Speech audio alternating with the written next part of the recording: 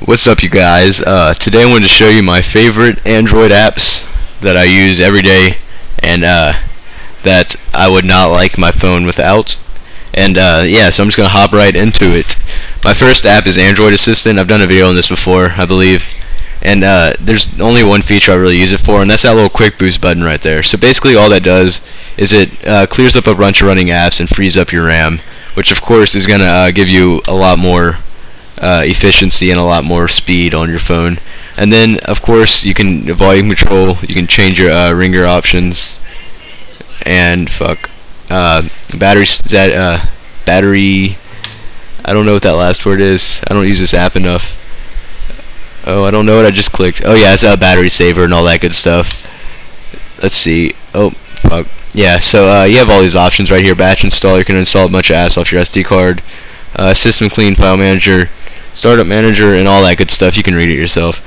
I don't feel like reading all that. And uh, yeah, it's like one of my favorite apps.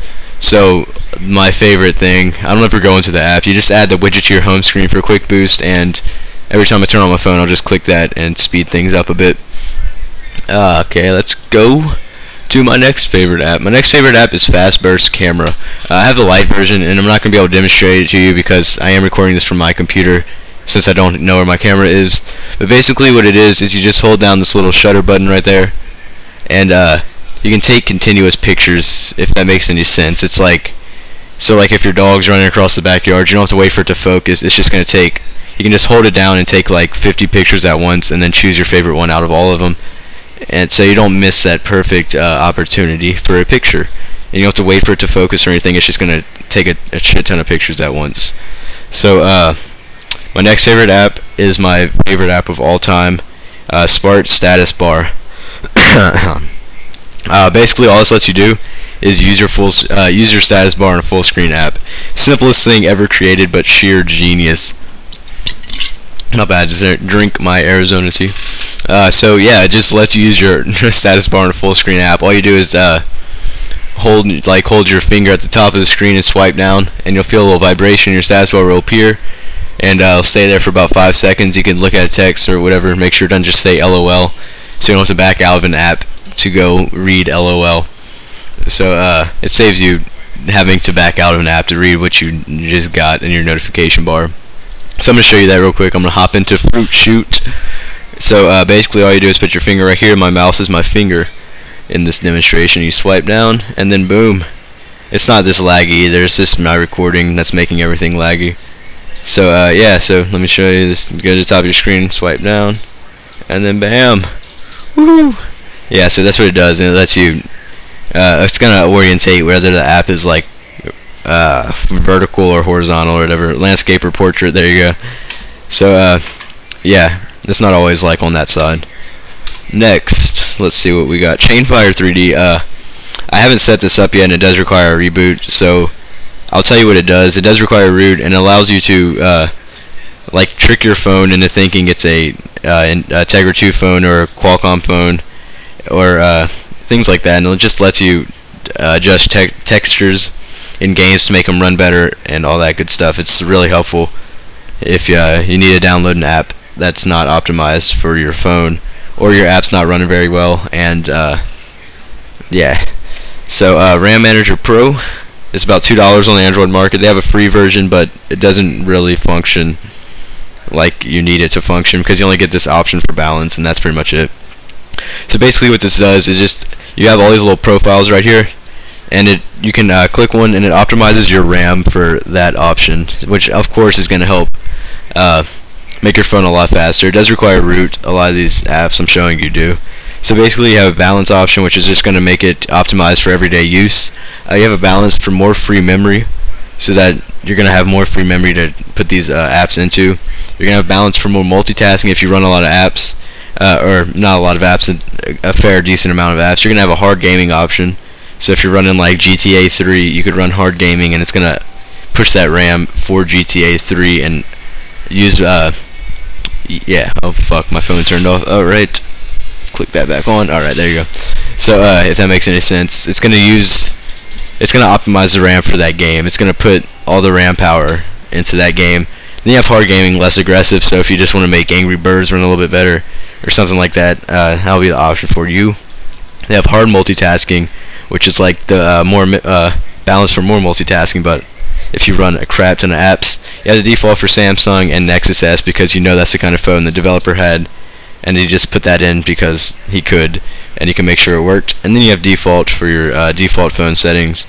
And then at the bottom, give, he just added, uh, recently added some little extra stuff for lock launcher and memory, which is going to help uh, prevent the launcher from restarting. The VM heap size, and this does adjust your build.prop, uh, which can be dangerous if you don't know what you're doing uh, get your memory info and your charging limits. So let's click memory info. All that good stuff shows you how much memory you have and how much memory you have overall and all that good shit. Alright, so next let's go see what else we got. Um, yeah, so my next one is Titanium Backup. If you're a root user, you have this app. So I don't even know why I'm showing it, but it might convince you to root, which would be pretty cool.